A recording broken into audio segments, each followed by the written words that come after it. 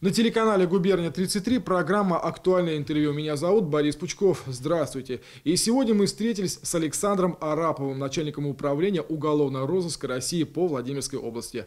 Александр Юрьевич, здравствуйте. Здравствуйте. А, у нас сегодня замечательный повод для того, чтобы встретиться и поговорить. Это день рождения уголовного розыска, юбилей 100 лет с момента основания. А, собственно, с чем я вас и поздравляю, с профессиональным Спасибо праздником. большое. Спасибо большое. А, Александр Юрьевич, а, вы помните, как вы пришли в милицию? Тогда это еще была милиция. Почему именно милиция? Как это происходило? В каком году? Расскажите поподробнее.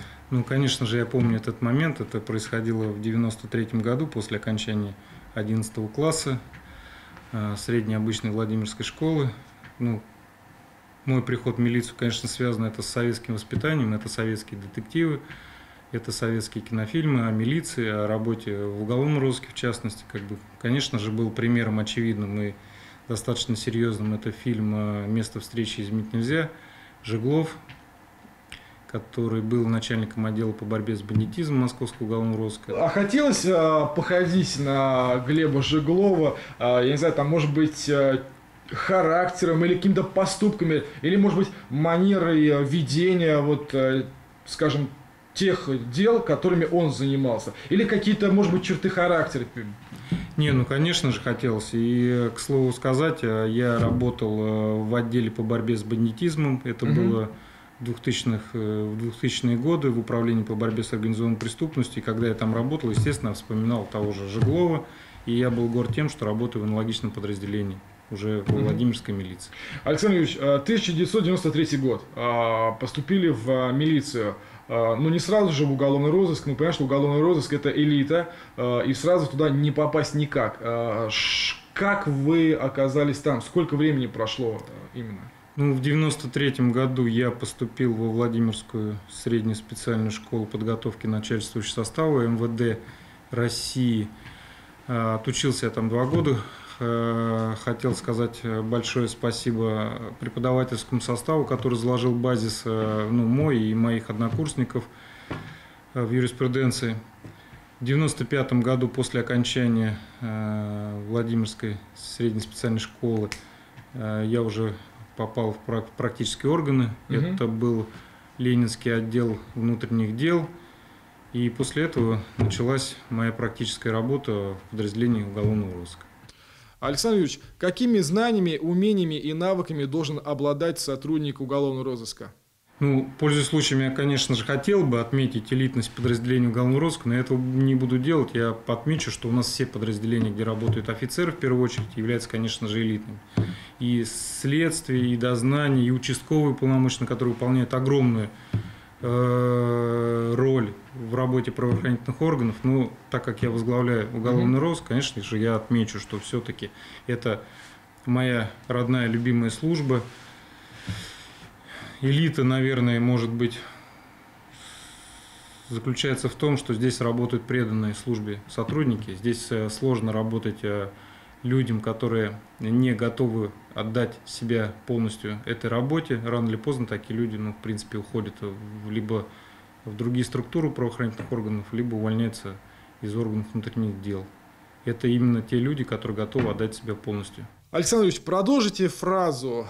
А, Чтобы стать сотрудником уголовного розыска, необходимо. Ну, я думаю, необходимо иметь высокие морально-деловые качества и э, желание постоянного профессионального роста именно в этой сфере деятельности. Без этого сложно бороться с преступностью, сложно документировать преступную деятельность фигурантов. Ну и как бы одной из э, характеристик я хотел бы выделить именно высокую коммуникабельность общения с людьми. А в вашей профессиональной деятельности наверняка было много разных ситуаций, историй. Можете вспомнить какую-нибудь одну из них, а, может быть, курьезный, может быть, а, наоборот, очень серьезный случай?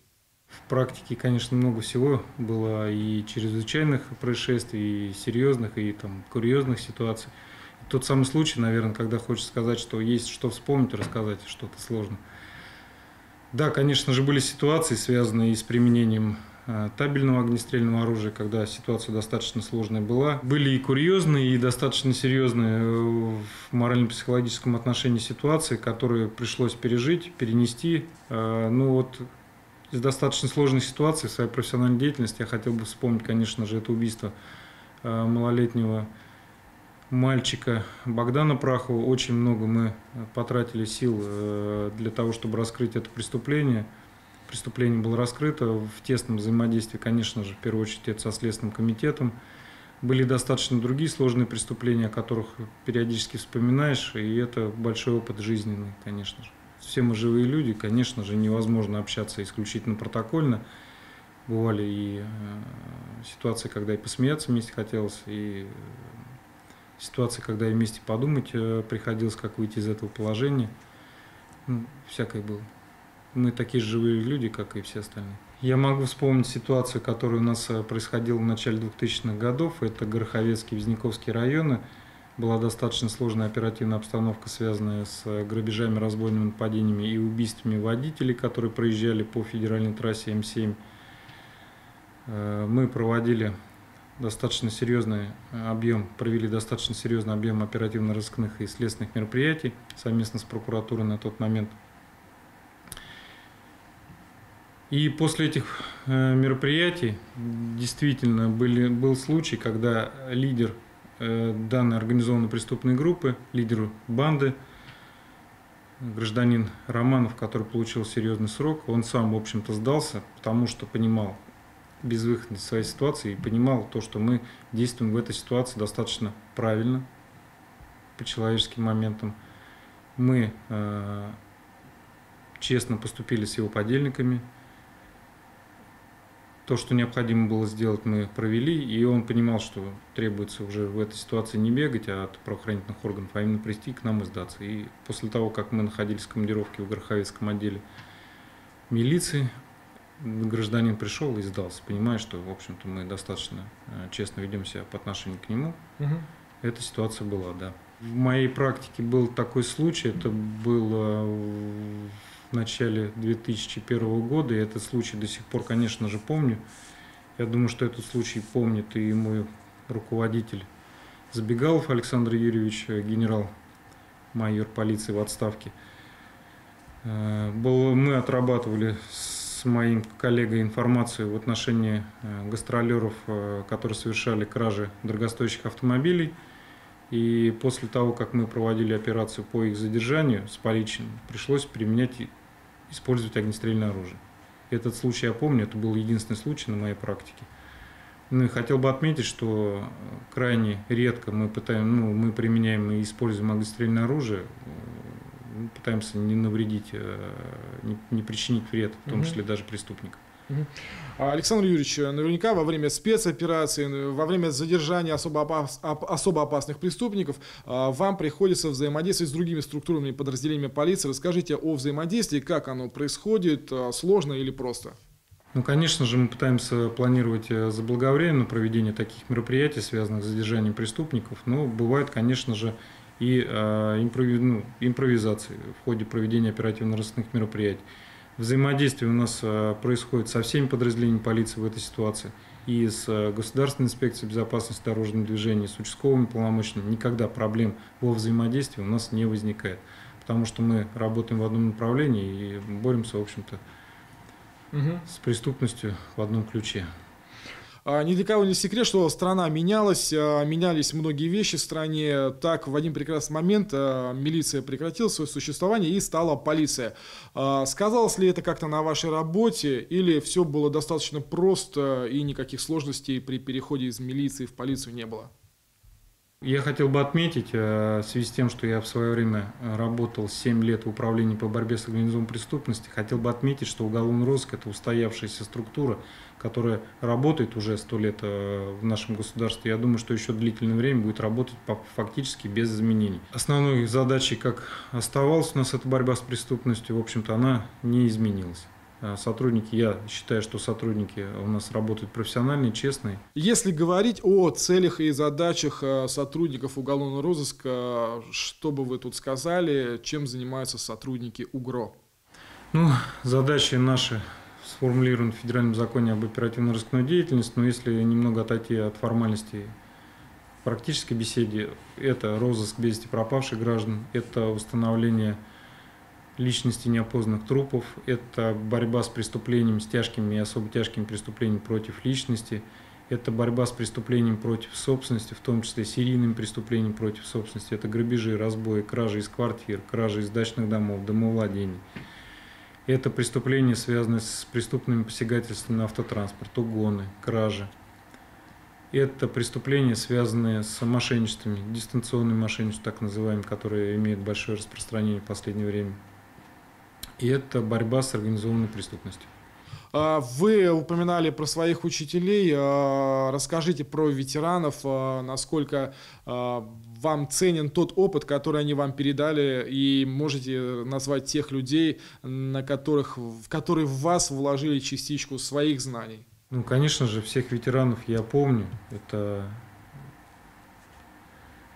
это те люди, у которых мы в повседневной деятельности брали пример – Хотел бы э, назвать несколько фамилий, я постараюсь никого не обидеть. Э, Большаков Александр Федорович, это начальник УВД Владимирской области, 93 год. Именно этому руководителю я писал заявление на, о приеме на работу в органы внутренних дел. Большаков Александр Иванович, э, генерал-майор милиции в отставке, начальник УВД Владимирской области. Это тоже достаточно авторитетный для меня человек. Я помню его высокие человеческие характеристики – Денисов Николай Федорович, который являлся начальником криминальной милиции э, УВД Владимирской области, тоже достаточно хорошо я помню этого человека. Забегалов Александр Юрьевич, он являлся начальником управления по борьбе с организованной преступностью Владимирской области, генерал-майор полиции в отставке. Достаточно авторитетный для меня человек. Многие другие руководители, которых я очень хорошо помню, которые заложили ну, серьезный базис в мою профессиональную деятельность. Александр Юрьевич, у вас есть медали, награды. Скажите, какая из них для вас наиболее важная, ценная? Основная награда, которую я читаю и помню, это государственная награда указом президента э, Российской Федерации. Э, мне вручена в 2006 году.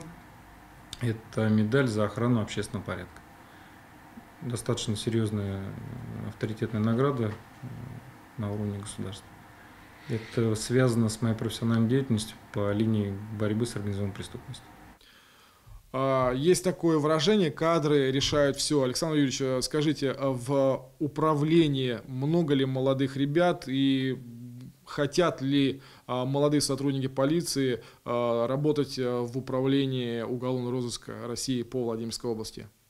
Авторитет правоохранительных органов, он сохраняется, тем более вот этот романтический ореол э, борьбы с организованной преступностью в роли именно оперативных уполномоченных, он сохраняется, поэтому молодежь идет, мы ее с удовольствием принимаем, пытаемся отбирать именно самых достойных для того, чтобы они работали в управлении головного розыска. Уважаемые друзья, уважаемые коллеги, э, сто лет – это серьезный юбилей – достаточно много теплых слов в преддверии праздника поступает от э, большого количества и бывших коллег, и действующих коллег, и руководителей. Значит, сегодня обращался с поздравлением начальник Главного управления Главного розыска МВД России, генерал-лейтенант полиции Голован Виктор Владимирович передал э, достаточно теплые слова и ветеранам службы, и действующим сотрудникам. Я Хочу присоединиться к его словам, поздравить в первую очередь, конечно же, ветеранов. Э, доброго вам здоровья, уважаемые коллеги, и к действующим сотрудникам. Спасибо вам за ту работу, которую вы выполняете. Я горжусь тем, что работаю вместе с вами, и горжусь тем, что я, в общем-то, вышел из тех же рядов, как и вы. Александр Юрьевич, спасибо, что сегодня встретились с нами и ответили на наши вопросы. И еще раз вас с профессиональным праздником, со столетием, со дня образования уголовного розыска России. Спасибо вам огромное. Это была программа «Актуальное интервью». Для вас работал Борис Пучков. Э, до встречи на телеканале «Губерния 33».